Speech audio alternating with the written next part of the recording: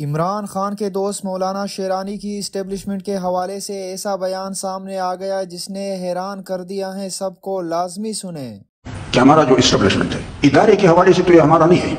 इसलिए कि हमारा इस्टेब्लिशमेंट बैन अवी इस्टेब्लिशमेंट का जैली इदारा है। ये हमारे हिफाजत के लिए भी नहीं है, हमारी खिदमत के लिए भी नहीं है, हमारी सहूलत के लिए भी नहीं है। बल्कि इनका असल फरीजा जो है, मगरबी अकवाम के मकासद की वकालत है और मफादात की हिफाजत है। अलबत् अफराद इसके हमारे हैं।